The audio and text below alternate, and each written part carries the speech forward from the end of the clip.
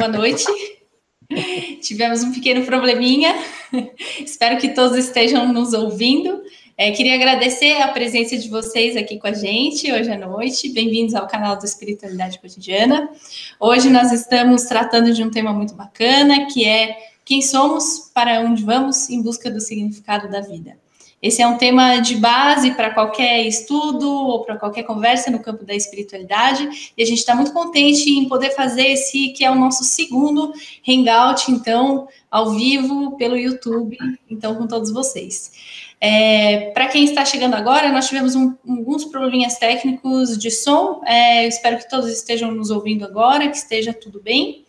É, queria apresentar, então, os participantes que estão aqui com a gente hoje à noite. Nós estamos com Luiz Calil Bonturim Antunes, estamos com Mário Sérgio Antunes, Maximiliano Bortolom, Roberto C.P. Júnior e eu sou a Caroline Derschner. Todos nós somos estudiosos da obra Na Luz da Verdade, Mensagem do Graal, de Abdrushim, uma obra espiritualista que trata de assuntos que vão desde a origem do ser humano até passando pelos conhecimentos acerca do universo, também é, sobre a vida cotidiana do ser humano e a respeito das leis da criação, leis universais que regem todas as coisas. Espero que vocês aproveitem bastante essa noite aqui com a gente. É, queria convidar vocês já para fazerem perguntas e comentários quando vocês quiserem. Fiquem à vontade para participar conosco. É muito bom essa interação e esse espaço de troca em que a gente também se sente conectado e, e não apenas conversando entre nós. Então, eu vou começar agora. É, já chamando aqui é, o Mário Sérgio Antunes, que geralmente tem, tem começado as nossas conversas. Então, é, Mário Sérgio Antunes, queria te dar boa noite e perguntar para você desse tema, né? Quem somos? Para onde vamos? Como começar esse tema, né? Já são duas perguntas. Qual dessas perguntas faz mais sentido a gente perguntar primeiro? Ou qual dessas a gente é, pode parar para pensar um pouquinho, uma leva a outra? Eu queria saber um pouquinho a sua opinião, Mário Sérgio. Seja bem-vindo. Boa noite, Carol. Boa noite a todos. É um prazer estar aqui com vocês para discutir respeito, discutir e falar um pouquinho a respeito desse assunto, do para onde vamos e quem somos, né, em busca do significado da vida. Bom, eu imagino que todo mundo que está nos ouvindo ou que nos ouvirá depois no, no playback, né, algum interesse a respeito desse assunto deve ter, né? ou não tem nada para fazer resolveu escutar o nosso, nosso vídeo aqui. Mas, em princípio, eu entendo que tem alguma dúvida, eu gostaria de ter alguma visão a respeito disso. Né? É, bom, a, a, questão principal que eu acho que todo mundo se pergunta, né, é, bom, e aí, nós somos apenas corpo, mente, e, ou temos algo mais, temos alma, espírito, como muitas religiões falam, né? E levando a coisa assim, fazendo uma, uma, uma, uma tratativa analítica e tentando colocar mais perguntas do que talvez respostas, é, se a gente imaginar, bom, nós somos apenas corpo, né? ou seja, aquela visão ateísta, né? dizendo, olha, para mim não existe nada além de um corpo. Bom, se não existe só um corpo, então a, a existência não tem sentido propriamente, porque eu vou morrer e aquilo tudo vai acabar. Ah, mas numa visão dessa, é, o que, que acontece efetivamente? O mundo está aí, né? A gente nasce, morre Nessa visão, então, a gente é o quê? Uma, uma coisa coletiva, é o desenvolvimento é, biológico coletivo, né, que vai se aperfeiçoando, tudo que eu fiz, eu gero geneticamente falando, segue adiante. É uma visão um pouco, ao, ao meu ver, um pouco simplista, né? Ela talvez não responda a grandes perguntas. E onde encaixar nessa visão o nosso íntimo, aquele eu interior, a nossa consciência, né? Ela teria algum espaço nessa, nessa ideia só de um corpo? Ah, me parece que não. Mesmo se fosse uma coisa coletiva do ponto de vista biológico, ainda fica a pergunta: e quem comanda tudo isso? Né? Ou seja, a gente sempre chega a uma pergunta terminal, que aí a gente acaba não tendo resposta ou tem que extrapolar para algo a mais. Então, mesmo uma visão completamente de falar é só biológico, é só corpo, eu entendo, é, aqui na minha análise é, simples assim, de leigo, não sou filósofo né, nem coisa nenhuma, né? eu entendo que a gente chegaria numa parede aí em algum lugar. Bom, não sendo essa essa a melhor alternativa, que ao meu ver também é um pouco é, simplista e, e, covarde, na verdade, de encarar o mundo, bom, então não somos só corpo, tem algo mais que sobrevive à morte, né? É, mas o que, que, o que, que é isso daí? Eu, quando, nos meus tempos ainda de católico, né, dada a minha criação familiar, a gente é, imagina que morre e vai para o céu. Mas o que, que vai para o céu? Né? É um corpo? É uma, só uma, uma, uma mente, uma consciência? uma coisa sem forma. Né? Alguns até acreditam nisso, e até o fantasminha, quando se desenha o fantasma, é uma coisa, é um nada com um, um lençol em cima, né? ou seja, não tem forma aquilo ali. É, será que esse é um melhor caminho? Não me parece que seja um caminho lá muito esperto, muito inteligente. Bom, se, se não é esse o caminho de uma coisa sem forma, então tem forma. Se tem forma, por que não a forma humana? Não precisaria ter uma forma de um cubo, não faria muito sentido, tem que ter uma forma humana, então. Então, essa coisa tem que ter um nome, né? Aí se vem a, a, o nome de alma, mas será que a alma é realmente o nosso interior ou há algo mais? Que aí vem a, palavra espírito, que vem em seguida, né? Então, você começa a falar, ah, legal, então, se existe alguma coisa além da morte, isso deve ter um propósito, afinal de contas, não tem sentido isso tudo ser assim, não tem, uh, não tem propósito. Essa alma espírito, se já existe, ou se vai deixar esse corpo, ela já existia antes de nascermos? É uma pergunta que se coloca nesse raciocínio. Se já viveu outras vidas ou se vive só uma? Ela veio aqui, viveu uma vez e foi embora. É, se viveu várias, isso tem um fim, essas sucessivas vidas, ou a gente vai ficar indefinidamente vivendo vidas? Né? Se tem um fim, tem que ter um começo. Né?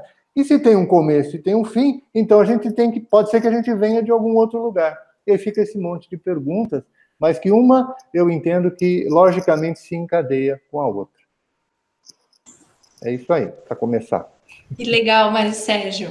Obrigada pelas suas explanações, pelos seus questionamentos. E você já passou por um ponto que eu acho que tem tudo a ver com o nosso trabalho, que é a questão da espiritualidade do espírito e da essência, né? Você falou em mente, em uma essência e eu achei muito interessante isso, porque hoje esses conceitos estão muito misturados. Consciência, mente, alma, espírito, essência, é muito difícil a gente separar com clareza é, todos esses conceitos, porque se a gente entende a consciência como uma coisa mental e algo mental ligado ao cérebro, então automaticamente com a morte do corpo, como você comentou, essa consciência então acabaria. Se ela não faz parte do corpo, ela está em algum lugar. Então você realmente já foi desdobrando, né, o, o que seria isso.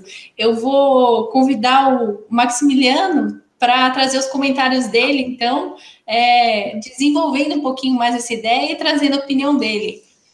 Max, fique à vontade. Oi, boa noite a todos estão ouvindo a gente aí. Bom, assim, o Mário colocou várias, várias situações, é, vários questionamentos, né?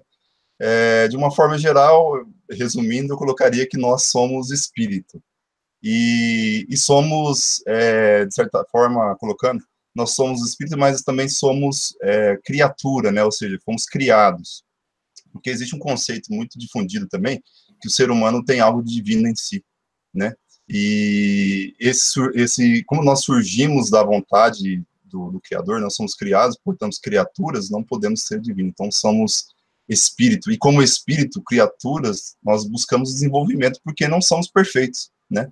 Então, é, aí, nesse questionamento, quem somos, qual que é o nosso propósito que o Mário levantou, é, eu colocaria, assim, bem para simplificar, é a busca do desenvolvimento, porque é algo que precisa ser aperfeiçoado, algo que é criado, que não é perfeito, precisa buscar a perfeição, né? Precisa buscar o desenvolvimento. E isso surge, isso demanda é, vivências, né? Experiências para que isso possa ser desenvolvido. Então, de um modo geral, é, a, a, nossa o, o, nosso propósito, né? A nossa nossa que, que a gente busca na nossa vida, né? Nossas vivências, nossas experiências aqui na, na matéria seria o desenvolvimento, né? Então, esse seria, para começar, assim, um resumo bem resumido do que eu do que eu estou pensando, eu gostaria de levantar isso para você. E aí, bom, vamos buscar o desenvolvimento, né? É, dentro desse propósito, mas como que nós vamos buscar esse desenvolvimento? De que forma? Quais caminhos? Aí você tem uma ampla, é, um amplo debate aí, né, de como que são esses caminhos, né, mas buscando essa linha do desenvolvimento, a gente consegue traçar aí pelo menos alguma, alguma conversa que, que, que demande uma, um, algo que, que, que, esclareça, né, que nutra, que, que traga é, esclarecimento para as pessoas, né, quais caminhos que a gente pode tomar para que, que chegue esse desenvolvimento, porque todo mundo quer alguma coisa, mas às vezes as pessoas tomam os caminhos, será que esse caminho está trazendo desenvolvimento para si, né, e para a humanidade como um todo, né? Legal, Max, muito interessante a sua perspectiva do desenvolvimento, porque isso tem muito a ver até com a nossa própria postagem que fizemos sobre essa mesa, em que tinha uma foto de pessoas andando é, numa cena comum, cotidiana, na rua, né? indo para diversas direções, e ela aludia, então, a uma sensação de, de busca, uma pergunta que fica no ar, né? Será que não, não tem nada mais, nada além do que essa vida que nós estamos vivendo aqui, né? É, comer, acordar, comer e morrer um dia, né? Como falam popularmente, né? Será que é, não há esse propósito? E aí você trouxe a questão do desenvolvimento. E é óbvio que muitas pessoas estão buscando coisas, né? Se há uma ideia de busca, muita gente busca muita coisa, mas a ideia de desenvolvimento, ela já aponta para um lugar. Agora, que tipo de desenvolvimento é esse? É só um autoaprimoramento? É um desenvolvimento físico, um desenvolvimento da saúde, um desenvolvimento mental? É, então, eu queria trazer essas questões e achei muito interessante que você colocou a questão da, da, de ser criado, né? Então, você já traz a ideia de criador. E eu queria, então, convidar o Roberto para comentar esses temas e o que ele é, desejar, como é que ele, ele vê essa questão do desenvolvimento e de sermos criados, portanto, imperfeitos e fruto de uma criação. Então, Roberto, fique à vontade. Bom, vou ficar à vontade. Boa noite a todos. Eu, quando a gente estava discutindo a ideia desse hangout, a primeira coisa que me ocorreu foi esse embate entre as duas correntes que procuram responder à pergunta quem somos, que é a corrente criacionista e a corrente evolucionista. Essas duas correntes estão numa briga aí de décadas. E interessante é que as duas têm razão em algumas coisas e não têm razão em outras, né, segundo o meu modo de ver. Então, a corrente criacionista, ela está certa quando diz que existe um criador, um criador que criou o mundo, que criou a natureza, que criou os animais, criou os seres humanos. Isso está correto. Mas quando essa corrente se aferra em, nas escrituras, né, em termos literais, aí ela ela se perde, porque a Bíblia ela é um livro essencialmente espiritual, é um livro de cunho espiritual. Então, está cheio de metáforas, de analogias espirituais. Né? Você pegar o pé da letra, você fica tolhido. Né? Abdurushin fala na mensagem do Grau, na Luz da Verdade, que a Bíblia é um livro fechado a sete selos. Né? É fechado a sete selos porque a pessoa tenta é, descobrir o que está ali literalmente, então ela não vai para frente. Né? E, os criacionistas não admitem a evolução, mas a evolução é uma coisa evidente. Né? É uma coisa evidente, pode ser demonstrada por várias formas. Né? Então, eles erram nisso. Por outro lado, os evolucionistas, eles acertam quando dizem que existe uma evolução, que é decorrência da lei do movimento, que é uma das leis da criação, mas erram, principalmente os evolucionistas radicais, quando dizem que a vida surgiu por acaso, surgiu do nada. Isso é algo completamente é, impossível. E é interessante que é, esse o, o Louis Pasteur, né, que é um dos fundadores da microbiologia, ele tinha uma frase muito interessante. Ele falava o seguinte: Pouca ciência afasta do Criador, muita aproxima. E eu pude constatar isso em dois exemplos. Uma é um é, é de um de um cientista indiano que a Carol desenterrou aí de um, de um da Roda Viva aí de 2001, né? Ele foi, tá, foi entrevistado aí no Roda Viva em 2001, e ele conta aqui que ele foi materialista dos 14 aos 45 anos, quer dizer, os 14 anos é a época em que o espírito liga, né? quer dizer, naquele momento ele já se tornou ateu, materialista e continuou assim na carreira científica dele até os 45 anos. Até que ele viu que a ciência não dava resposta para o que ele queria. Então ele se aprofundou mais ainda e chegou à conclusão que tem que existir um criador. Né? Ele diz que a consciência é a base do ser né? e que isso poderia ser usado como base de uma nova ciência. E um outro exemplo bastante interessante que eu sempre comento com, com o Mário, né, que sempre me surge, é de um astrônomo britânico chamado Fred Hoyle. Esse Fred Hoyle, ele era ateu, um cientista ateu. E ele estudou muito a origem da vida e chegou à conclusão, depois de se aprofundar muito, que era impossível que a vida tivesse surgido por acaso. Né? Porque os evolucionistas radicais, eles falam o quê? Que existia uma sopa primordial, né, cheia de aminoácidos lá e moléculas, aí caiu um raio lá, essas moléculas começaram a fazer cópias de si mesmo, aí passou dois bilhões de anos, surgiu o ser humano. Né? Basicamente isso que eles falam. O Fred Hoyle fala o seguinte, ele diz que a probabilidade da vida ter surgido assim, por acaso, é a mesma de um tornado passar por um galpão de ferro velho e deixar atrás de si um Boeing 747. É a mesma probabilidade. Então, ele é um ex-ateu, porque é um cientista que se aprofundou na ciência. É, é, muita ciência aproxima do Criador. Então, quando surgiu essa ideia desse hangout, é, a pergunta quem somos, eu lembrei dessas duas correntes antagônicas e queria deixar aqui registrado, para a gente eventualmente discutir mais, que as duas têm erros e têm acertos na nossa visão. Que legal, muito obrigada, Roberto. É, nossa, disso a gente já tem temas para falar aqui, horas a fio. É, esse tema eu acho que envolveu todos nós nessa semana, é, foi objeto de muita conversa. É, eu tenho alguns comentários para fazer sobre isso, mas eu acho que durante todo o Hangout a gente vai voltar nessa questão. É, de qualquer forma, o primeiro comentário que eu queria fazer, é, brevemente, é que a ciência, tal como definida, né, ela é um, é um, corpo de conhecimento, né? Só que ela é um corpo de conhecimento muito específico, né? Ela se volta somente para certos aspectos da realidade e de forma metodológica, ou seja, com uma metodologia muito própria. E isso é essencial quando a gente fala de conhecimento, de pesquisa, até mesmo de educação, enfim, sabedoria, né? A busca pela verdade, a busca pela verdade dos fatos. É, a ciência, ela não é um corpo de conhecimento que olha tudo. Ela é dentre os corpos de conhecimento uma parte e que olha só uma parte das coisas e de determinada maneira. Ou seja, ela é uma repartição da repartição da repartição.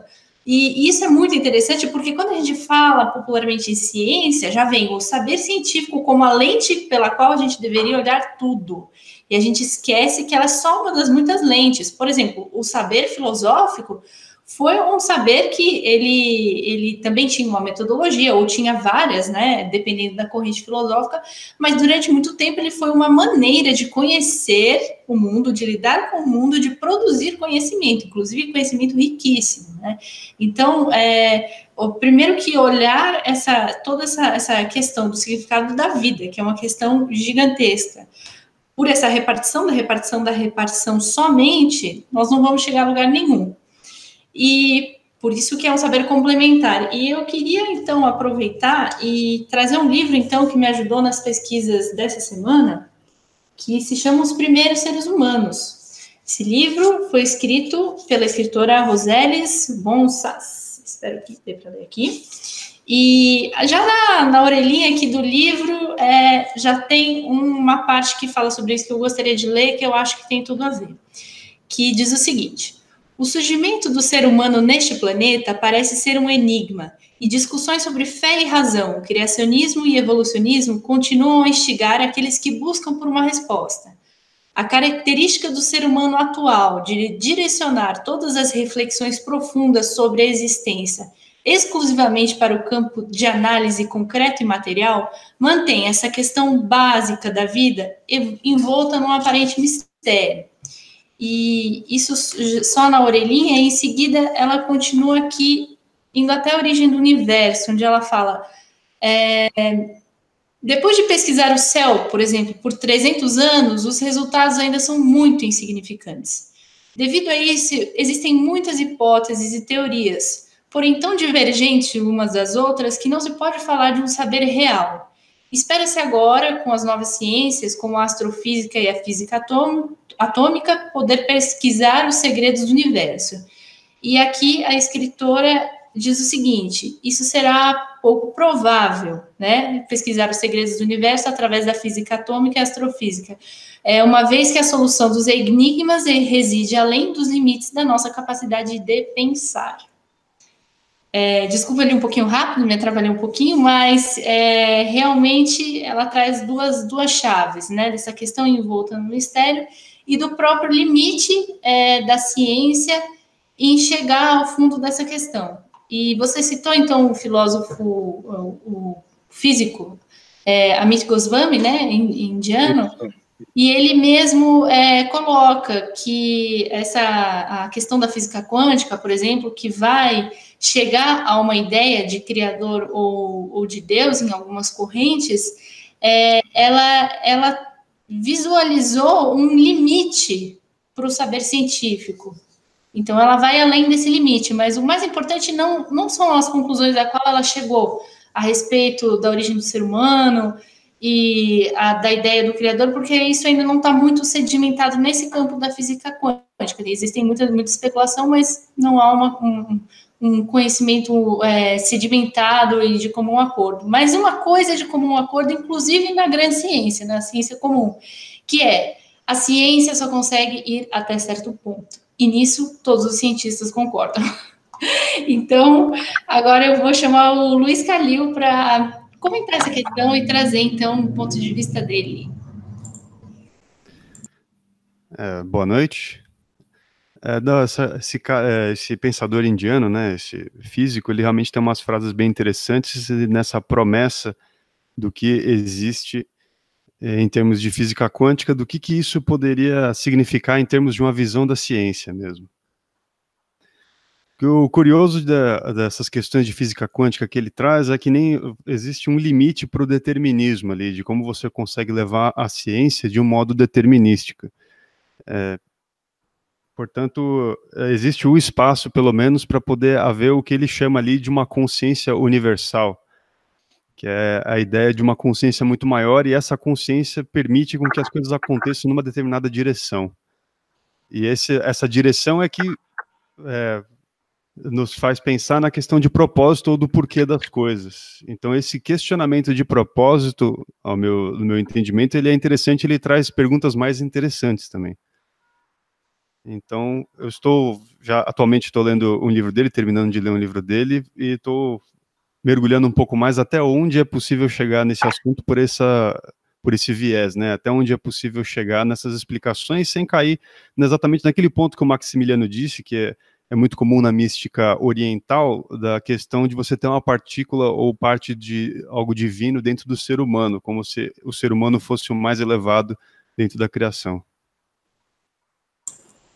Legal, Calil. É, você falou um pouquinho da perspectiva, então, é, é, de se criar coisas, né? Da, da, perspectiva quântica de se criar é, é, possibilidades ou realidades, e você já trouxe um elemento novo que é, não é porque nós temos uma capacidade de criar coisas que nós somos o criador.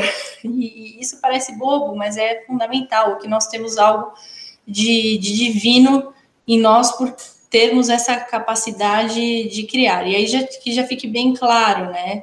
É, ser fruto de uma criação divina não, é, não significa possuir esse, esses atributos. Eu vou chamar o, o Mário Sérgio é, para continuar a nossa conversa. Eu só queria fazer dois avisos muito breves, que é o seguinte: nós temos aqui no grupo a Ana Luísa Zanelli, que sempre está presente aqui com a gente, né, nas mesas redondas. É, só que hoje, por questões é, médicas, ela não pôde estar presente, ela já havia nos avisado com antecedência e queria deixar isso claro para o nosso público, que ela realmente não poderia participar dessa nossa conversa.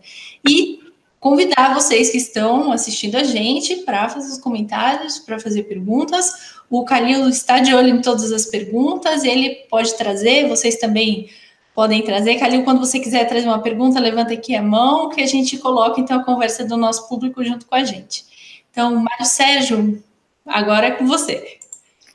Então, bom, né, nessa linha, eu acho que a primeira pergunta, quem somos, a gente já respondeu aí com a, a questão que o, o, Maximiliano levantou, né? Somos seres espirituais, ou seja, então, dentro daquele meu, né, daquela minha digressão lá, né, então nós não, é, nós é, não, não, não viemos daqui, nós não somos daqui, nós viemos de outro lugar, nós viemos de um mundo espiritual, ou como é comum se, se falar de um tal de paraíso. Né? E é, nós viemos para cá, obviamente, com o sentido de, de, de, desenvolvimento, como o próprio Maximiliano também falou. Né? É, no que tange a questão da, da ciência, eu, a, a, ciência é um negócio de pesquisa. Então, hoje ela fala que o ovo é bom, amanhã ela fala que o ovo é ruim.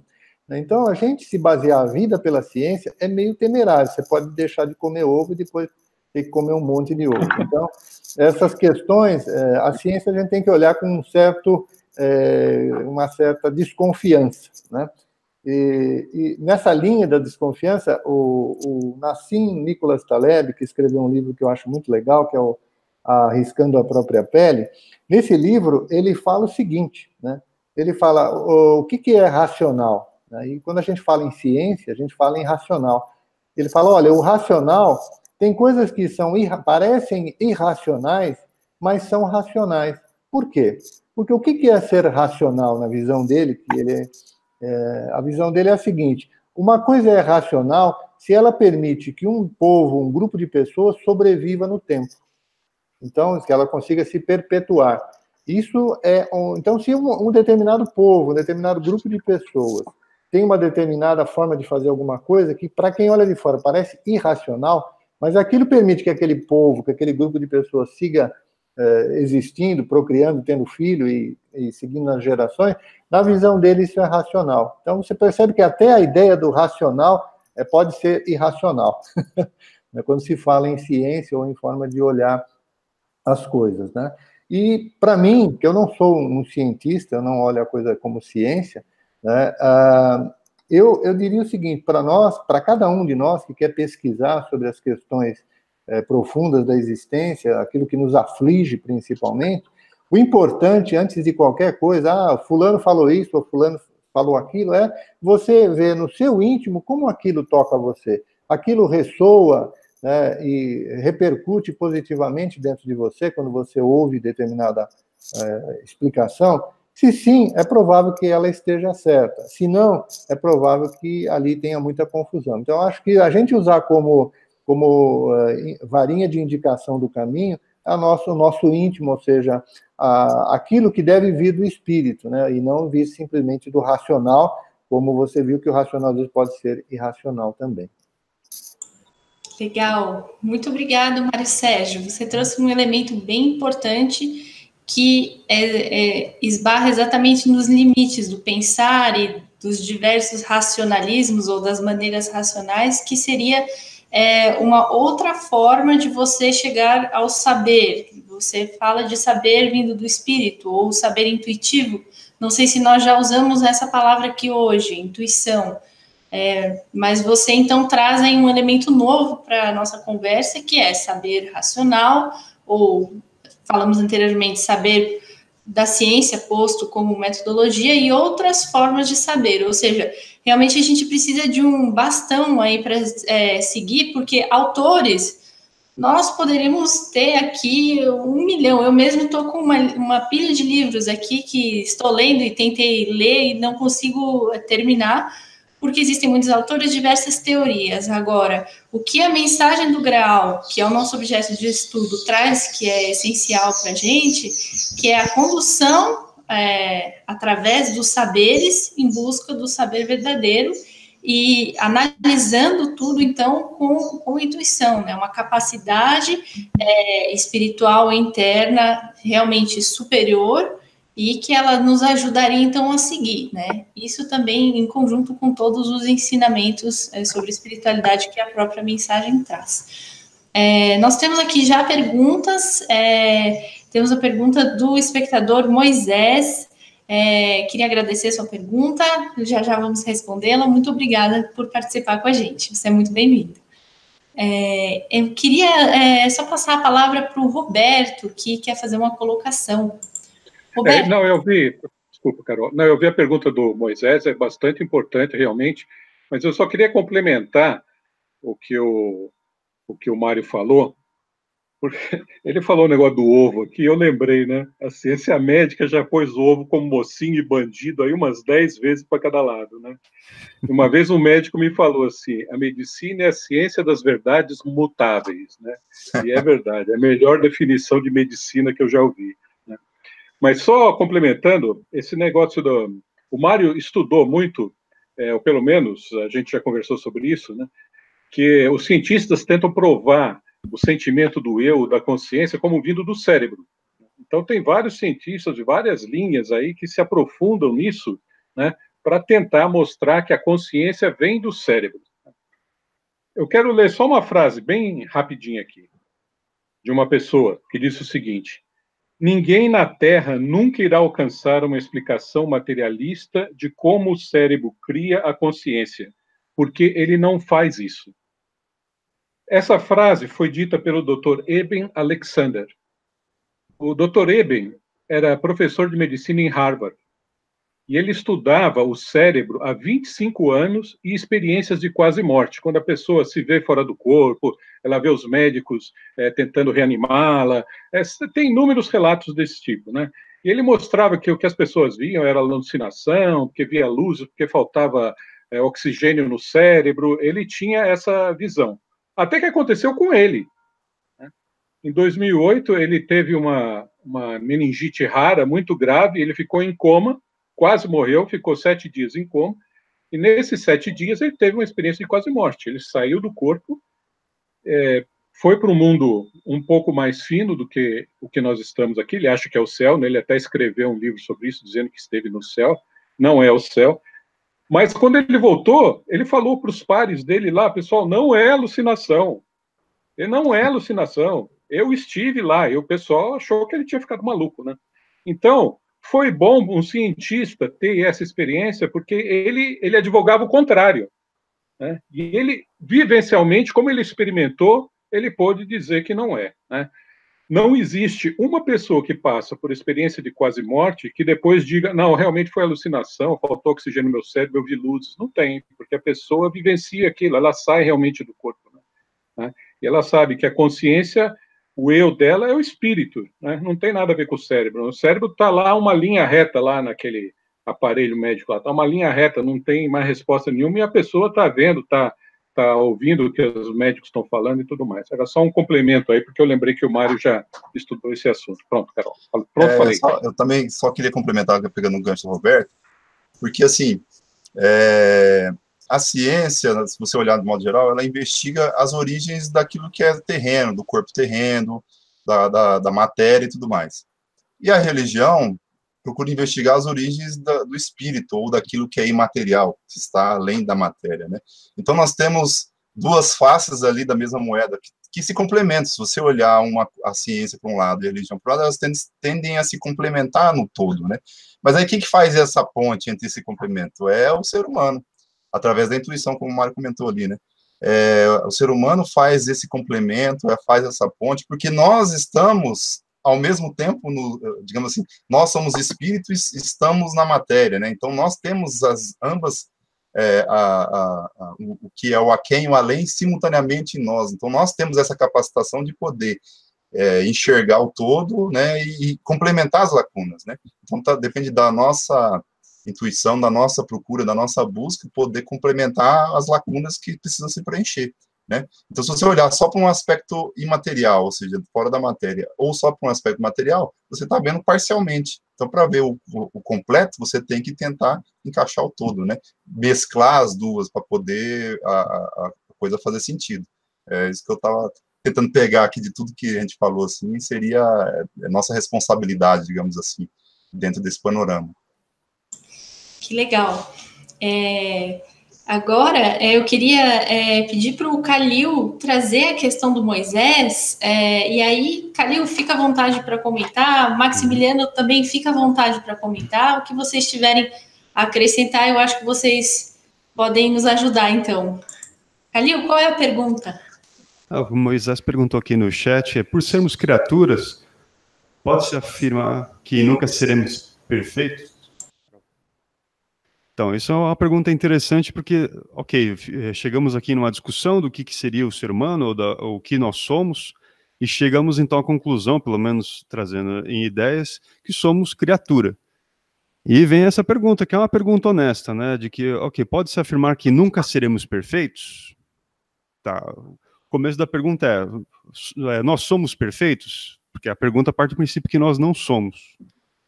E é mais fácil você entender algo se você olhar o produto daquilo ali, né, o resultado disso. Você olha o ser humano de um modo geral, durante o que se tem de registro histórico, dá para se afirmar, acho que é, é, honesto afirmar que não somos perfeitos. Mas vem a pergunta: será que uh, nunca seremos perfeitos? É, é, essa também, você só olhar historicamente, pode ser um, um pouco enganoso, né, a partir do que você tem de vestígio de história, né, que a história é escrita por quem sobreviveu, e quem sobreviveu não necessariamente o fez do, do jeito mais virtuoso ou honesto, ou qualquer outra maneira que você queira caracterizar isso. Então, essa pergunta de que nunca seremos perfeitos, ela esbarra na questão do aprimoramento. Afinal de contas, a vida na matéria, na Terra, ela tem uma duração específica, né? Será que é possível se aprimorar o suficiente? Nessa busca por aprimoramento do ser humano, é possível se aprimorar para é, conseguir atingir a perfeição em uma vida?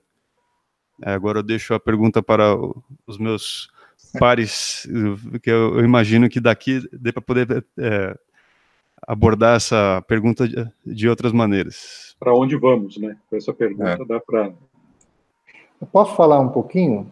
Claro. Pode. Não, ô Maximiliano, você quer falar, por favor, fique à vontade. Não, não, eu só ia complementar, já que acho que surgiu a pergunta daquilo que eu falei na, no começo, né? E, e até tem um trecho na mensagem do Graal que do tipo fala, perfeito, porém é só Deus. O ser humano, ele é uma parte do todo, né? Nós temos, nós, nós somos criaturas, né? E, e somos é, várias, né? Muitas, e sempre nós somos uma parte do todo, né? Então, o, a perfeição no sentido, é só uma busca que a gente tem, né? Nós vamos buscar a perfeição porque é o nosso, é, é digamos assim, é o nosso alvo, né? Porque é aquilo que você busca, que é a luz que vem do Criador, que é perfeita, e através de tudo que surgiu dele é, é perfeito, as leis e tudo mais, mas nós, nós a nossa, nossa meta, nosso propósito, digamos assim, é para onde vamos, né? Essa busca desse desenvolvimento da perfeição. É, mas é, nosso, nosso alvo é tão amplo, né? Nós vamos buscando nosso desenvolvimento e a, a, a, possibilidade de desenvolvimento é tão ampla que nós sempre vamos estar buscando. Assim que a gente atinge um alvo, que você acha que chegou um degrau, você vai ter mais um outro alvo para atingir que ele é mais é, que ele é melhor, que ele é mais desenvolvido, que ele precisa de mais elaboração, porque a lei do movimento diz que você não pode parar. Então, é, essa busca, esse, esse desenvolvimento é para sempre, entendeu? A gente está sempre buscando desenvolvimento e sempre melhorando, né? Eu acho que, e, e na matéria, como o Calil falou assim, isso não, a gente está sempre, porque aqui é, uma, é um produto muito mais aquém do que aquilo que é a origem do espírito, né? E aí, buscando na questão do, do já dando gancho para qual que é o nosso, para onde vamos, né? Ali seria o nosso o nosso propósito, nosso é, busca de desenvolvimento, aprender as leis daquilo que é perfeito, aprender as leis da criação, para que a gente possa se beneficiar nesse caminho, né? O caminho do desenvolvimento, para você poder se beneficiar, você tem que aprender as leis daquilo que rege esse desenvolvimento. Aí eu estava pensando num exemplo assim, ah, é como se você pegar um carro para dirigir e você não conhece nenhuma lei de trânsito, você não conhece as leis de trânsito, não sabe quais são, como é que funciona o semáforo e tudo mais. A probabilidade de dar alguma coisa errada no meio do caminho se você pegar o carro sem conhecer as leis é muito grande. Então, se você não conhece, é, aquele, aquela ferramenta te prejudica. Já se você pega um carro e você sabe das leis, você cumpre as leis, aquela ferramenta te beneficia. Então, você não conhecer as leis do Criador é, é uma coisa que te prejudica, porque você não sabe se você está agindo para que lado que você está indo, qual caminho que você está indo. Então, é imprescindível, na busca de desenvolvimento, conhecer essas leis. Né? É, então, só para começar aí essa, essa parte aí do qual, para onde vamos, deixar essa bola para vocês comentarem aí. Bom, a questão do perfeição aí, eu acho que ela é uma pergunta um pouco capciosa, se vocês me permitem a, o comentário assim, um pouco enviesado. Porque é, quando você fala, não, é, é, o ser humano é perfeito ou vai se tornar perfeito, bom, mas você está partindo, qual é a definição sua de perfeito? O que é ser perfeito? Uma vez você define o que é ser alguma coisa, e você pode dizer né, como, quanto por cento você já está ou não distante daquilo ali. Aí, é, recuperando aquela expressão que o Roberto usou né, no nosso outro hangout, que era professora severa, né, que a, a existência humana, a vida é uma professora severa, então, é, você só vai passar, ou seja, é, é como se, se você levar em consideração que o ser perfeito é ter uma nota 10, por exemplo, você só passa se você tirar 10. Se não tirar 10, não passa, então né, é, você iria nessa linha. Agora, de todo jeito, independente dessa questão que ela pode vir a ser, vir a ser metafísica, né, fala, não, é, é perfeito, não é perfeito, vai ficar perfeito, o fato é, se o ser humano não é desse, desse mundo e deve voltar para o seu mundo, ele deve voltar só a partir de um determinado momento, ou seja, o momento em que ele atinja a condição de maturidade ou de possibilidade de viver naquele lugar que, que lhe pertence. Como você comentou aí do carro, eu só posso pegar um carro e dirigir se eu souber dirigir. Então, eu só posso, a priori, entrar numa, num carro e sair pela, pela rua se eu tiver condições de dirigi-lo e não for colocar ninguém em risco de vida ali ou acidentar alguém. Então, esse mesmo raciocínio simples, eu acho que pode valer para o espiritual. Você só volta para lá se você tiver em condições de viver lá. Ou seja, o que é condições? Você está maduro o suficiente para viver lá.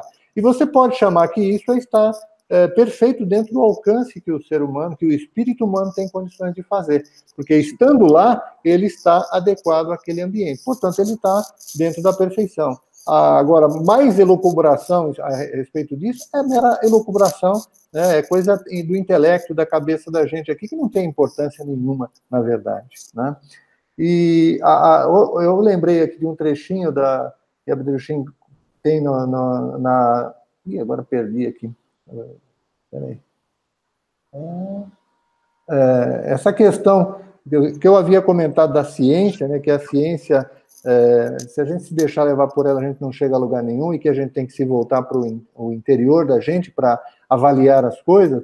A tem um trechinho aqui que eu vou ler para vocês, que, eu, que ele fala exatamente isso em relação às pessoas que não acreditam, por mais que você fale com elas, elas não vão acreditar. Ele fala assim, ó. Além disso, isso é na dissertação A Moderna Ciência do Espírito, na, na mensagem do Grau. Além disso, é, não há nenhuma necessidade premente para que se queira convencer a todo custo as pessoas que não acreditam, ele chama de os adversários malévolos. É notório que esses não são propensos a acreditar, mesmo que um anjo descesse di diretamente do céu para lhes anunciar a verdade. Assim que o anjo fosse embora, estariam prontos a declarar que tudo não passara de uma ilusão coletiva, não tendo sido absolutamente um anjo, ou arranjariam qualquer outra excusa. Tá? Então, é, a questão é sempre interna da gente. O que, você efetivamente acredita, como é que você se sente em relação ao que está apresentado para você. Né? É isso aí. Que legal, Mário Sérgio. Muito obrigada, e acho que você tocou num ponto fundamental, trazendo esse trecho da mensagem. É, que nós, a, a, nossa postura, né, inclusive aqui, em nenhum momento é de convencimento é, ou combate, né, enfim, não, não é uma proposta de convencimento, e sim é, de dar respostas para aqueles que estão buscando respostas no sentido da espiritualidade, ou seja, que dá origem do ser humano, é, concebendo a ideia de propósito, ou seja, propósito na criação, e se a criação há um Deus, então é, essa também não é uma perspectiva é, religiosa dentro da, das religiões principais, né, hoje estabelecidas, mas ela é uma resposta é, mais no sentido da espiritualidade. Eu sinto que a gente está caminhando, então, é, por esse terreno, mas não no sentido de convencer ninguém, mas sim porque este terreno faz sentido para nós, né? Nós encontramos respostas nesse sentido na mensagem e tudo é, fica bem claro, assim, se liga bem perfeitamente todos esses conceitos. E temos aqui um comentário da Vanessa Andrade, é, que ela fala: buscar a perfeição é o estímulo para estar, é, para sempre estarmos nos aprimorando, sermos melhores do que fomos ontem. Essa meta, esse alvo é contínuo até atingirmos o limite na caminhada após a passagem terrena, ou seja, na escalada do lado de lá. Vanessa, que legal seu comentário e você trouxe uma essa frase, né, a passagem terrena e depois a passagem é, para o lado de lá. E nisso a gente retoma um elemento central do nosso entendimento, mas também de, do entendimento que está em muitas culturas e também em diversas correntes é, filosóficas e religiosas, que é a Terra como um local de passagem. Ou seja, não a Terra como a finalidade por si só, nem a Terra como início, nem a Terra como fim, mas a Terra como um, um, um meio do caminho, um lugar de onde você passa e vai embora. E a gente está olhando não só para o lugar onde você passa, mas se você está passando por esse lugar, você veio de algum lugar, e se você está passando e foi embora, você vai para outro. É, independente se entrar no mérito de para onde você vai, porque os caminhos é, na criação são individuais, não só na Terra, mas também nos planos mais finos. O Roberto utilizou essa essa, é, esse nome, né, essa descrição, planos mais finos, que a gente fala planos que não são terrenos, planos de outras é, materialidades, de outras constituições de matérias mais finas. E é muito interessante porque essa acepção da Terra como local de passagem, ela não só é muito comum, mas ela remonta ao próprio significado da palavra Terra que a gente encontra na literatura é, da mensagem do grau e correlata a mensagem, que é a terra como um campo de cultivo, ou seja, um lugar onde você passa como uma semente para se desenvolver e aí desenvolver todas as, as potencialidades, né, que você conseguir. E, naturalmente, você pode ou não desenvolver. Um campo de cultivo não são todas as sementes que brotam, nem todas brotam igual, e é, cada uma se comporta diferente, né? Dependendo do lugar que ela está, dependendo do tipo da semente, enfim. É, mas é um lugar onde seriam, seriam semeados, é, falando não só metaforicamente, mas no sentido de que essa estadia na matéria, então, ela serve para, para, para um período de amadurecimento. E crucial, porque de lá, então, a gente segue para outras etapas, né? Então, agora eu queria convidar alguém, é, eu acho que eu vou convidar o Maximiliano, que já não, é, o Maximiliano, depois o Calimo, que, que faltou. Maximiliano, você que você pode comentar sobre isso? Não, só queria complementar, dentro do que você colocou aí, de um campo de, de cultivo, né, e, e de passagem, é até pegando um gancho na o que a Vanessa comentou, porque o nosso desenvolvimento em busca da perfeição, ela não está apenas na materialidade, na matéria, né, porque muita gente acredita assim, ah, desenvolveu saiu da matéria, chegou no paraíso. E lá é uma paz e ninguém vai fazer mais nada, todo mundo está tranquilo e tudo mais. E não é, né, o processo não é esse. Porque o desenvolvimento não acaba, né? Você chegando lá, no além, e depois adiante, o processo de desenvolvimento continua. E aí, cada vez, as exigências são maiores, porque a busca da perfeição que eu coloquei, é justamente porque você tem limites é, menores e limites maiores, e esse processo nunca termina, né? Então você chega lá, você vai se desenvolvendo, e o que acontece na matéria é que a gente está aqui para que a gente consiga suportar a força que lá nas alturas luminosas é muito forte. A gente se desenvolve aqui para ganhar força, para ganhar resistência, se desenvolver, e a partir de um determinado momento que você é, está forte o suficiente e você não tem mais nada que te prenda à matéria, porque o que acontece muitas vezes também é que a gente cria muitas ligações na matéria e fios que nos prendem aqui, que a gente precisa resolver. Uma vez que você não tenha mais nada que prende, aí sim, você vai, ascende lá para o paraíso, né, mais para as alturas, mas continua o desenvolvimento, isso não acaba. Então, é só pegando esse gancho aí, que ficou meio aberto, e, e seria isso. Legal. Obrigada, Max. É bacana. Realmente faltou complementar é, esse comentário que eu fiz, que esse, esse campo de cultivo, então, esse lugar de passagem, ele não dá no que é entendido em algumas culturas, né, como paraíso ou como até o céu, né, existem diversas aí nomenclaturas para entender, mas a gente já chegou a, a, a, comentar aqui que haveria então esse lugar de ponto de máxima perfeição ou máximo desenvolvimento, né, é, que seria então o que a gente chama de a nossa pátria espiritual ou o local de onde a gente veio, né, Parece é, um tanto oculto falar sobre isso, mas são diversas uh, as culturas e até mesmo existem também mitos, é, é, um material muito extenso que, que retoma todas essas passagens que a gente falou, não só da terra como um campo de passagem, de cultivo, mas o local de origem e também esse retorno, né? É, e esse é um processo que dá, também dá para falar bastante. Queria chamar o Calil é, e logo em seguida o Roberto, é, tentar retomar um pouquinho a ordem, que eu mudei um pouquinho, então, e depois eu volto para o Mário Sérgio. Calil, o que, que você pode comentar com a gente? Olha, dessa conversa, eu acabei lembrando de uma palavra muito importante, é uma palavra que chamou muita atenção e que me levou muito tempo a ponderar a respeito, nesse próprio livro da Luz da Verdade, do Abdrushim, que é a questão de vivência. O Moisés perguntou aqui da questão de nunca seremos perfeitos. Eu entendo que espero que um dia possamos ser, para que possamos retornar à pátria espiritual, ao paraíso, né? Não faria muito sentido no paraíso haver seres humanos imperfeitos. Mas isso te faz perguntar, ok, então o que, que era então o ser perfeito, pelo menos onde compete ao ser humano? E entendo que seja a questão do amadurecimento, a questão do, do aprimoramento das vivências nesse campo de cultivo, pelo menos nesse ponto que estamos aqui agora, todos nós, né, assistindo, encarnados devidamente, cada um no seu corpo de carne e osso, assistindo aqui pelo Hangout, me faz me, me, me levou a lembrar exatamente dessa palavra de vivência. Por quê? O que, que seria o aprimoramento aqui na matéria enquanto você está nesse campo de cultivo? Que é essa palavra vivência uma vez conversando com uma pessoa espírita, me veio essa, esse debate, né, essa questão do que, que é o aprimoramento do ser humano, até o que, que efetivamente aprimora o ser humano. Porque olhando, por exemplo, a minha, a minha trajetória na minha faculdade, ter estudado ali, feito ensino superior, teve muita coisa que eu aprendi ali, eu, eu sei que eu não vou levar muito para a vida é, foi uma coisa muito circunstancial, mas existiram alguns momentos, algumas coisas bem específicas que mexeram comigo e mexeram a maneira de ver o mundo.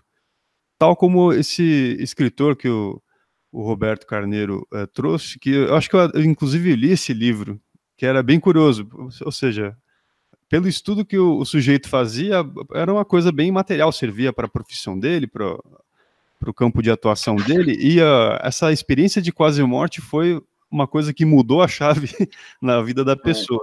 Acho que é possível dizer com segurança que aquilo foi efetivamente algo que mudou a essência dele, ou algo muito próximo da essência. Ali ele teve o que seria efetivamente uma vivência. Aquilo sim agregou no desenvolvimento dele como ser humano, mexeu tal com a condição humana dele. Acho que essa é uma palavra bem interessante, até para poder uh, é, não sei se é, terminar de responder esse questionamento do Moisés, que eu concordo com a Vanessa, que a questão do estímulo para o aprimoramento, eu acho que isso é importante. Agora, em ser perfeito em si, eu concordo com o Mário Sérgio. Essa pergunta pode acabar sendo capciosa exatamente pelo cismar ali do que, que seria exatamente essa perfeição. Olhando a vida como sendo uma coisa finita, então tem que ser o que te compete naquele momento como aprimoramento, o que, o que dá tempo de fazer, digamos assim. É, porque senão o aprimoramento não teria fim, porque nós temos tantos campos de conhecimento para estudar, tantas habilidades para adquirir, que se o aprimoramento, a ideia de aprimoramento fosse nesse sentido estritamente terreno, né? Então a nossa medida seria muito alta, tem que aprender todas as línguas que eu puder, todas as habilidades. Então a gente está indo é, realmente no, num outro sentido, que é o sentido que você trouxe, o sentido da vivência. E a gente retoma um outro ponto que o Mário Sérgio trouxe aqui, né? Essência espiritual, saber espiritual, intuitivo, ou seja, quem está se desenvolvendo nesse campo de cultivo não é o corpo somente. O corpo, a mente, o conhecimento racional, ele está nessa parte do trajeto. E quando a gente está passando, né? Como eu disse, ver como uma portinha, vem o antes, o depois e o durante. Quando a gente está passando, a gente pode se aprimorar de milhões de maneiras, né? Só que não é, não é isso que a gente está realmente é, buscando, né? Porque senão quem não se aprimorou, então sai imperfeito, uma pessoa mais simples, uma pessoa que não fez faculdade, então a, como é que ela sai dessa roda da, viva, da vida? Isso não faz nenhum sentido. O tipo de aprimoramento do qual a gente está falando é o aprimoramento da essência, o aprimoramento espiritual, aquele adquirido através do saber intuitivo, da impressão no espírito, não no raciocínio. O caso do Dr. Eben Alexander, desse livro, que eu também li, e não sabia que você tinha lido, Calil. Achei muito interessante essa coincidência. é, eu lembrei só agora, conforme o Roberto está falando do livro. A minha tia tinha esse livro e me emprestou, mas é, que mostra realmente no campo do saber, do, do, da ciência, do racional, ele estava super munido ali de argumentos contra. Quando ele teve uma vivência, e aí de, de ordem até um pouco além da, da matéria, né, uma vivência mais para o sentido do espiritual ele mudou da noite para o dia? Como é isso? Né? Então, de que tipo de aprimoramento que a gente está falando aqui? Porque se fosse só o racional, nossa, a gente vai sair perdendo. Eu mesmo sou, olho para as pessoas e falo, nossa, tem gente que é tão capaz que eu não acreditaria que eu consegui fazer isso, ia conseguir me equiparar elas até o final dessa vida. E parece que não é esse tipo de experiência do espírito na matéria somente, ela faz parte, né? Faz parte como um todo, como um desenvolvimento 360, onde você melhora em tudo que você puder, mas nem tudo é para você. É, agora eu vou convidar então o, o, o, Roberto e até queria até lançar mais uma perguntinha para o Roberto que é, eu, queria perguntar, Roberto, você acha que as pessoas estão em busca e se elas estão em busca, em busca do quê? O que, que elas estão tentando se aprimorar? Nós já fizemos essa pergunta aqui, eu continuo com ela aqui. Bom, é, eu trouxe algumas coisas aqui do Ed Alexander. É, o livro dele chama Prova do Céu, a jornada de um neurocirurgião pelo outro lado da vida. Ele fala coisas muito interessantes nesse livro. Ele diz, por exemplo, a morte é uma transição, não é o fim de tudo, a consciência existe além do corpo e é muito mais rica fora dele. O neurocirurgião que era cético, ateu, materialista, e agora falando isso, né? Isso tem um peso muito grande, né? É, eu acho que ele pode, com isso, ele pode ter é, resgatado muita coisa e seguramente isso é, em benefício dele próprio.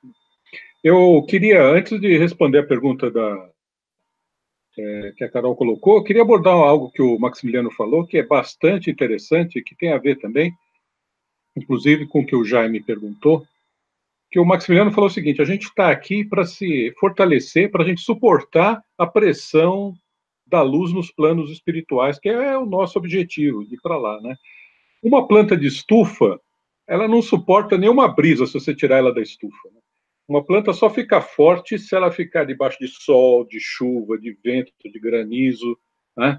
Então, o germe espiritual humano, né, ele também só vai se fortalecer com as vivências, né, que podem ser difíceis e tudo, mas é nisso que ele se fortalece. Né? Jesus mencionou isso com a parábola do filho pródigo. Né? O filho pródigo que abandona a casa do pai é, é, é, a metáfora da expulsão do germe espiritual do paraíso. Né? Ele passa por um monte de dificuldade, depois sente saudade da casa do pai, quer voltar para lá. Né? Aí o pai recebe, tem alegria lá na casa do pai quando ele consegue voltar para lá. Né? É tudo uma metáfora dessa saga humana, esse desenvolvimento que a gente é, tem que ter aqui na matéria para a gente se fortalecer. Né? Faz parte é, do nosso desenvolvimento. Então, era isso que eu queria é, acrescentar. Aí acho que eu respondi a do Jaime. A pergunta da busca, Carol, eu acho que eu vou deixar para o doutor Mário Sérgio aí, que eu acho que ele é, é bom nisso. Mário Sérgio, sua vez. É, é, bom, é, então acho que o para onde vamos, a gente de certa forma já respondeu, né? Ou seja, a gente vai voltar para a nossa pátria espiritual. E retomando o assunto do Maximiliano, que ele falou que a gente não vai ficar de bobeira lá, de boas, na lagoa, lá nessa pátria espiritual, eu queria é, ler o trechinho que está na, na, dissertação, está é, tá no epílogo da mensagem, está lá em como assimilar a mensagem, Abdushin fala o seguinte, olha, é, se agirdes corretamente, né, ah, não, desde a primeira até a última palavra, tendes de deixar inalterada a minha mensagem, se ela deva trazer-vos proveito. Primeiro, tendes de vivenciá-la dentro de vós, a fim de então, exteriorizando-a, transformá-la em vossa vida. Se agirdes assim, então caminhareis direito e as alturas luminosas se abrirão diante de vosso espírito, a fim de que as atravesseis em direção aos mais elevado, ao mais elevado reino de radiantes atividades dos espíritos humanos bem-aventurados. Reino esse que denominais paraíso. Então, lá é radiantes atividades, ou seja, a gente não vai ficar de bobeira lá, não. A gente vai ter muito o que fazer. Mas certamente será de imensa alegria fazer essas radiantes atividades. Né? Então, só para fechar esse assunto e aí deixar aí a nossa visão do que do para onde vamos. Né? Em relação a essa questão da estufa e de você estar tá sempre precisando da, da, da, está sempre na luta do, do, dia a dia, né?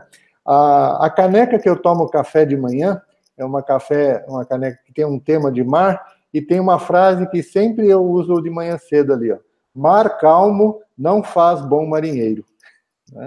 Então, é, essa é um, é um elemento importante aí da, da questão. Agora, qual é a pergunta, Carol, que eu já até esqueci?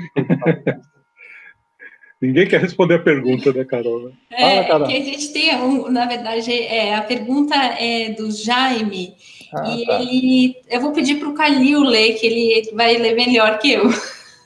Não, é, foi um questionamento que ele trouxe aqui interessante de falar, ok, quais são os obstáculos na matéria para o pleno desenvolvimento do espírito humano? Ah, que, tá achei interessante que a gente falou do trajeto, a gente fala um pouco da condição humana, do propósito estar aqui, e agora quais são os obstáculos, né? Que existem obstáculos para estarmos aí tropeçando ainda em busca, né? É um processo. Então... Eu acho que só tem um obstáculo hoje a, a questão humana, é nós desenvolvermos ao longo daí dessas muitas eh, tempos já passado aqui na matéria, desenvolver, termos desenvolvido o nosso raciocínio, ou seja, usarmos o, o nosso cérebro é, para resolver tudo e deixar de ouvir aquela, aquela parte que eu havia comentado logo no começo, né, que é o espírito, ou seja, o espírito também deve falar, ele também deve pensar, também deve sugerir a, ao corpo o que fazer. E no começo a gente tinha essa, esse equilíbrio correto entre o que o espírito comandava e o corpo, né, o cérebro, é, executava aqui na matéria. E num determinado momento, é, é, é, essa, esse equilíbrio foi quebrado. Né? Depois o Roberto pode até falar isso mais do ponto de vista até de como a Bíblia traz essa, essa, esses conceitos. Mas Abduchin nos, alerta disso daí na sua mensagem, dizendo que esse desequilíbrio é que trouxe a confusão toda para o ser humano e todos os sofrimentos que é, daí é, advieram. Né? E eu acho que esse é o grande obstáculo. É hoje a gente ter dificuldade em, em reconhecer ah, o mundo fino, as coisas fora da matéria. E tem pessoas que têm tanta dificuldade que nem acreditam em absolutamente nada nisso daí. Né? Eu, eu comparo essa questão dessa dificuldade, esse obstáculo, usando os conceitos que a gente tem hoje de Wi-Fi, por exemplo. Então, eu tenho aqui um computador cujo Wi-Fi está muito ruim, ele dá mais erro, eu mal consigo me conectar à internet. Então, Hoje, nós, seres humanos, somos todos é, é, equipamentos com Wi-Fi danificado. Alguns muito, outros menos, e alguns até com Wi-Fi simplesmente quebrado, que o cara nem imagina que existe rede Wi-Fi. É só, só pegando o gancho ali, Mário, eu lembro que você comentou uma vez que você falou aí do, da questão do, do, ser humano, e certa vez você falou que o ser humano é, estaria tá, é, se alinhado com as leis da criação, de tal forma que se você, uma vez que o ser humano estiver fortalecido, que você agir de acordo com as leis, sem precisar refletir, pensar, será que eu estou agindo certo ou errado, né? Então, se você já agir automaticamente alinhado com a direção, quer dizer que você está se afinando a elas, você está colocando elas no seu dia a dia. Então, aquilo se torna uma, uma algo de si, né? Algo seu. Então, você, nesse momento, você está no caminho de desenvolvimento. Se você tiver ainda, ó, tem que pensar, será que eu agi certo, será que eu agi errado? Então, você precisa ainda buscar mais esse desenvolvimento, e aí as, as experiências, as vivências que a vida nos traz, trazem justamente para a gente é, buscar essas, essa reflexão e nos colocarmos a favor das leis da criação automaticamente, né? Então, é sempre, a vida vai trazer é, momentos que nós possamos nos encaixar nisso, né? E aí eu estava pensando também no seguinte, a questão do desenvolvimento, né, no nosso, no nosso para onde vamos, né, em busca do significado da vida. Porque os, é, nós, num primeiro momento, a gente busca, até um determinado grau de maturidade, a gente busca o desenvolvimento é, apenas para si próprio, né? A gente busca o nosso desenvolvimento e, e, e ser humano, de certa forma, no começo é muito egoísta, porque ele busca si, e aí até como você, você comentou da questão do materialista, se ele não enxerga algo além, ele vai procurar também só aquilo que é para si, o que é ótimo para si. Né? Então, é, e aí você olhando um pouquinho além da, da, da, materialidade, aquilo que você vai se alinhando à luz, e na busca do desenvolvimento, você vai começando também a procurar o que é o desenvolvimento para o todo, para os outros também, não só para si, para que, tudo que é à sua volta. Ele busca enobrecimento não só de si, como daquilo que está no seu entorno. Então, o, o, grau de maturidade vai aumentando de tal forma que toda a sua volta precisa também estar maduro, né? Precisa estar enobrecido. E aí ele vai levando todo com, consigo, né? Então, é, essa preocupação de, assim, nós estarmos ainda focados em nós mesmos, ainda é uma, um indicativo de que precisa de desenvolvimento. Nós estamos ainda muito é, aquém do que precisamos atingir, né? Porque o ser humano que é, se amadurece de tal forma, ele para de olhar para si e começa a enxergar o todo também. É, não fica só se concentrando porque essa, essa visão sempre ligada a si é, não, é, não é boa, né? Você precisa estar tá, é, enquadrado nas leis e olhar para o todo, né? O que, que eu posso fazer para que tudo que está à minha volta se desenvolva, né? Acho que isso aí eu queria colocar essa, essa reflexão para todos. Legal, Max. Muito interessante. Você trouxe dois elementos que são muito importantes. Eu vou comentar primeiro o segundo deles, que foi muito interessante, que você falou do enobrecimento do nosso ambiente. Essa palavra enobrecimento, hoje, ela é quase rara de se ouvir. Isso quando ela não é ouvida dentro de uma conotação negativa, né? Como se enobrecer ou a nobreza é, tivesse alguma coisa a ver com riqueza, alguma elite, ou alguma coisa do tipo, né? Que a gente está falando de atos nobres, né? De elevação do seu ambiente, né? É interessante perceber com o estudo da, da mensagem que esse é um processo, quando você está é, conectado, né, corretamente com as leis da criação, já vou comentar um pouquinho isso, mas quando você está cumprindo o seu papel, você está conectado em harmonia, com, com, o universo, que inclui a harmonia com você mesmo e a harmonia com as pessoas ao seu, ao seu, seu redor, esse movimento de enobrecimento, de elevação de tudo ao seu redor, onde for possível, ele é natural, né?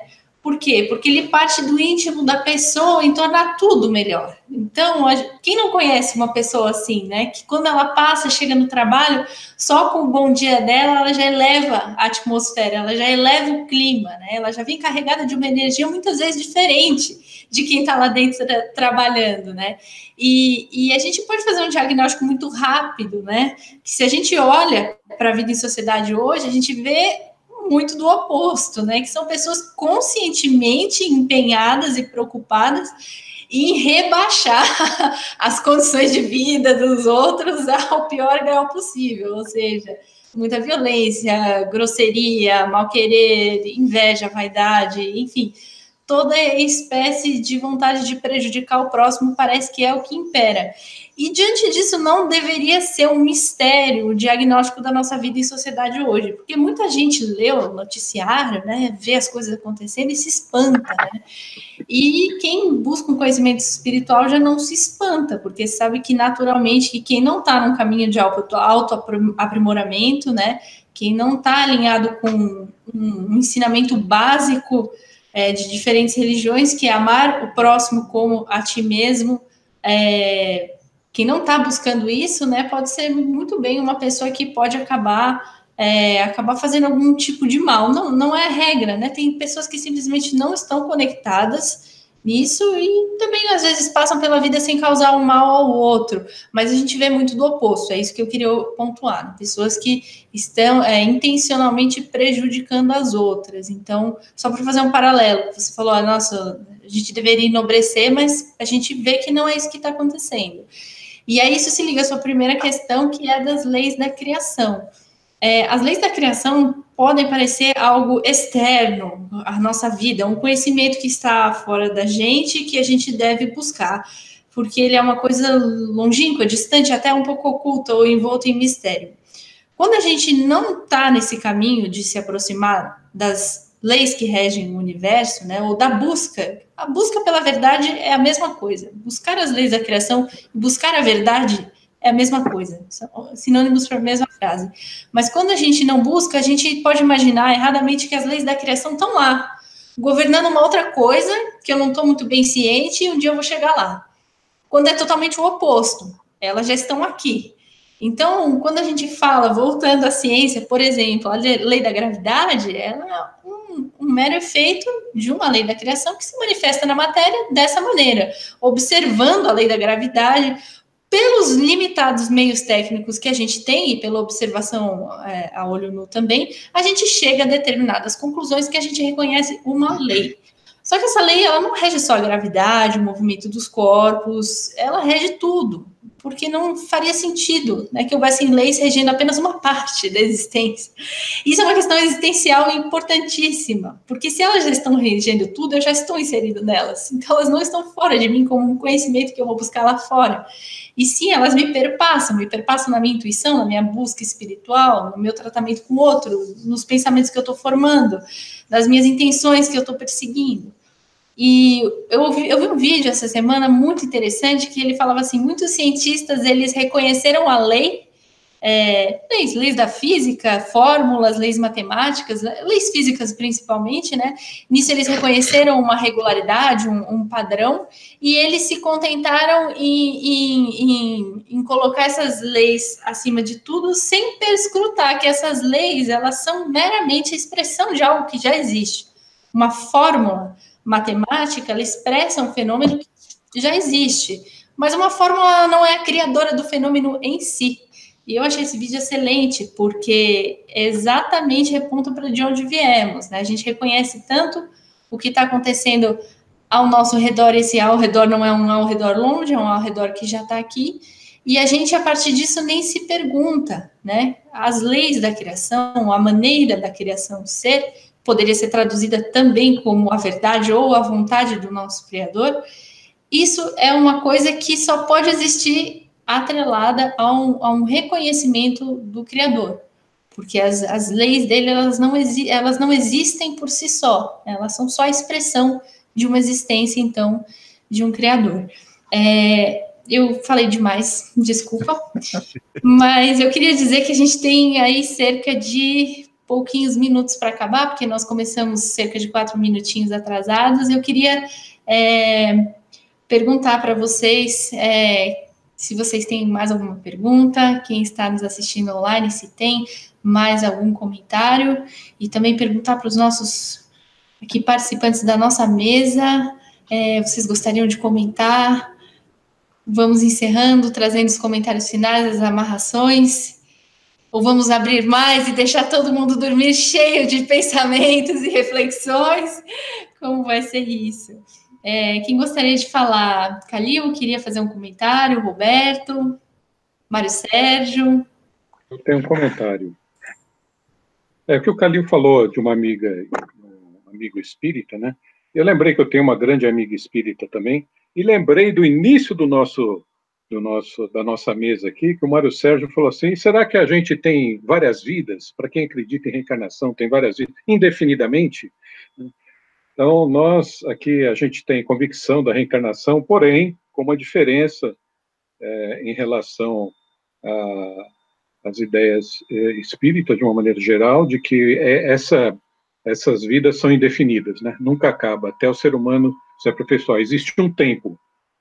Eu sempre gosto de fazer uma analogia com a vida. Né? A vida é como uma escola. Então, a escola, você tem as séries ali, você tem um curso, né, Mário? Você tem um curso, o Mário que falou assim, esse curso está chegando no final. O curso está chegando no final.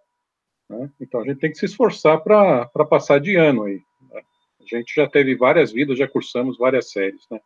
Então, era só esse aspecto que eu queria deixar nosso registro aqui, porque é dessa forma que a gente que a gente acredita, né? Depois, no finalzinho aqui, eu queria ler, ler, um, ler um trecho aqui que eu separei do livro do juízo.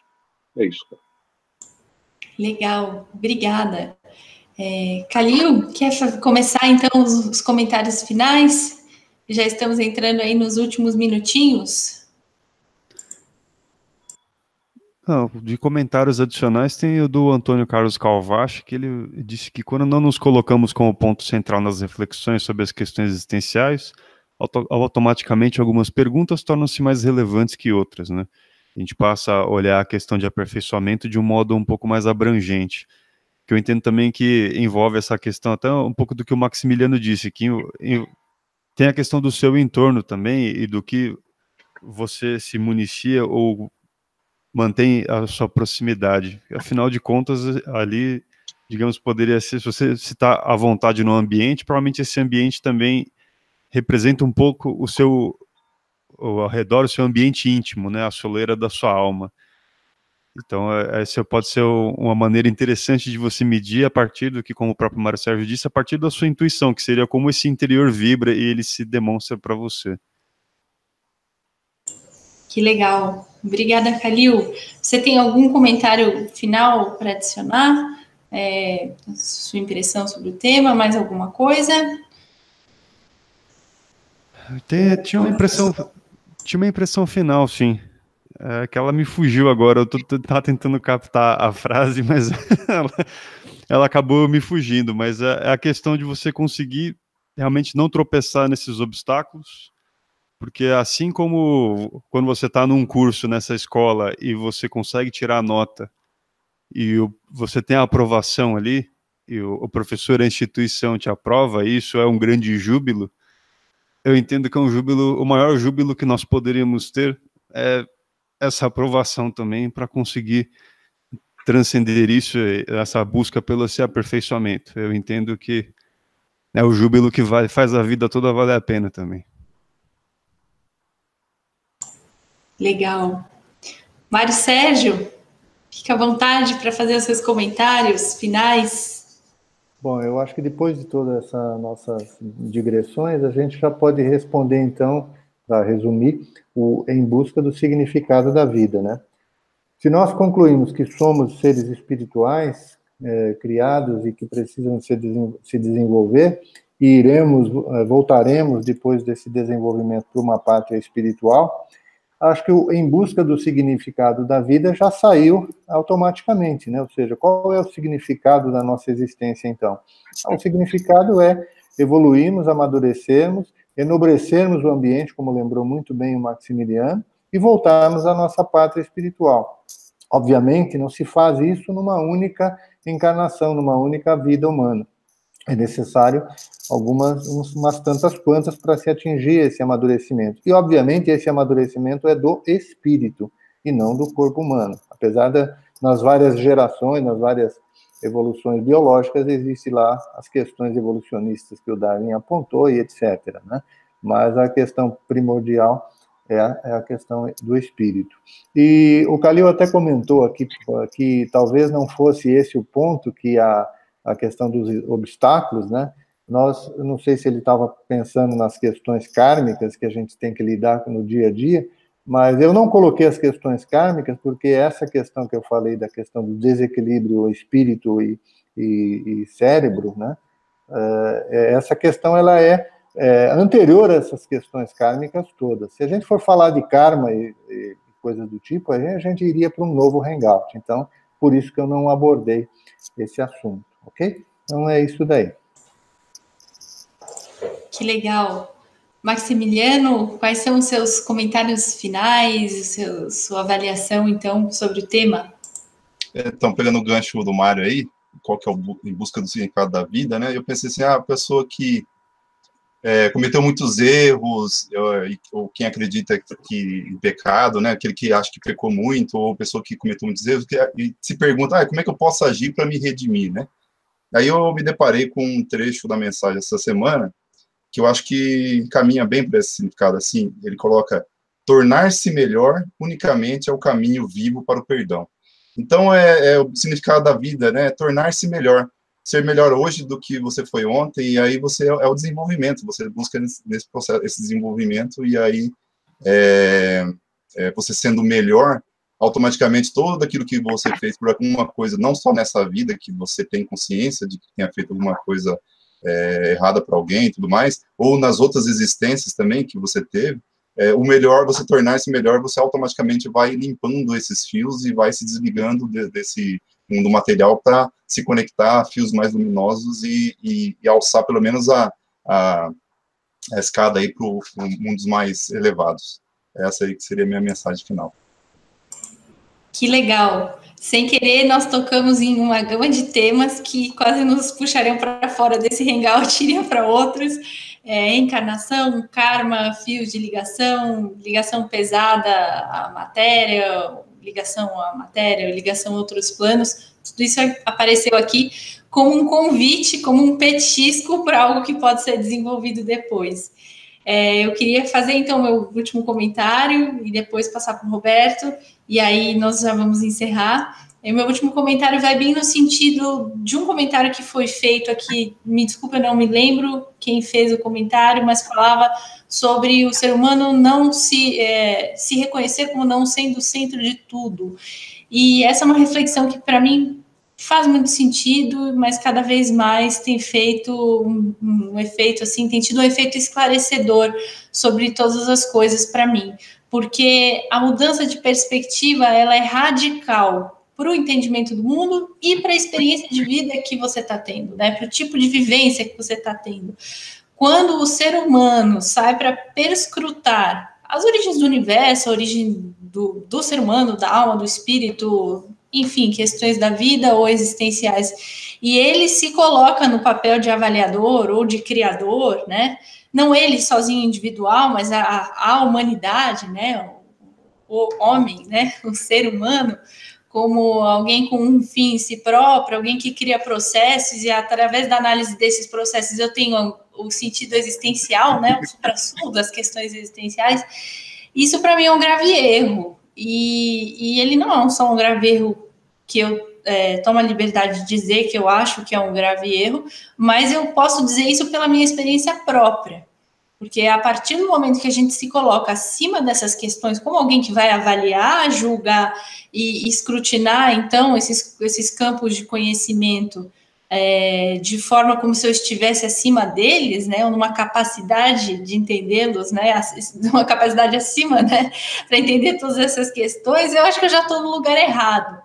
Agora, se eu me coloco numa outra perspectiva, né, que não é como o centro do universo, mas alguém que está passando, né, por esse universo, passando nesse momento, então, por essa terra, é, tudo muda. Então, é uma perspectiva de um aprendiz, a perspectiva de um peregrino, de uma pessoa que está olhando de baixo, né? Está olhando de baixo, ou pelo menos um, de, um, de um lugar que ela não é o centro ou o topo. Então, essa é a reflexão final que, para mim, fica bem claro para qualquer um que quiser explorar mais a fundo essa questão.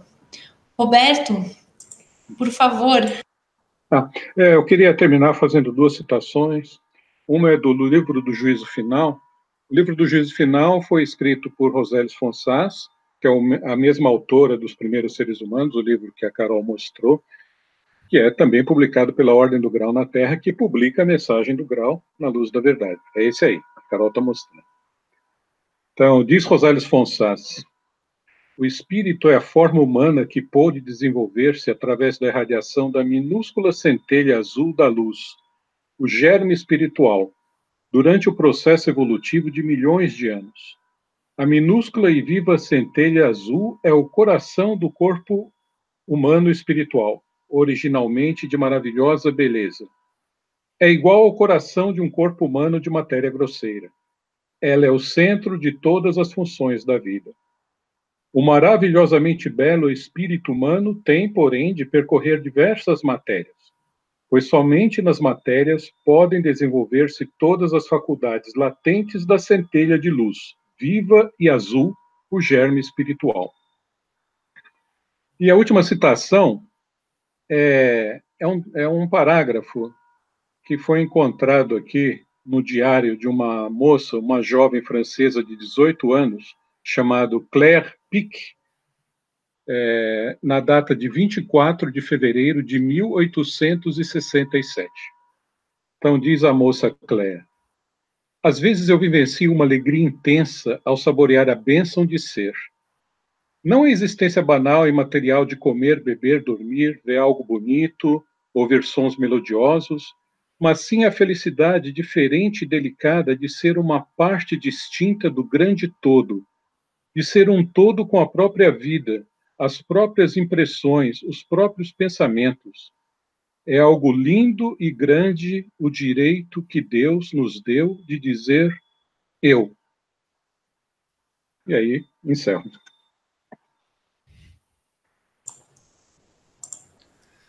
Pessoal, muito obrigada pela presença de vocês aqui com a gente essa noite. Obrigada também aos participantes dessa mesa. E acho que tivemos então uma excelente conversa. Então, desejo a todos uma ótima noite e até o próximo encontro. Até mais. Tchau, tchau. Tchau, pessoal. Até a próxima.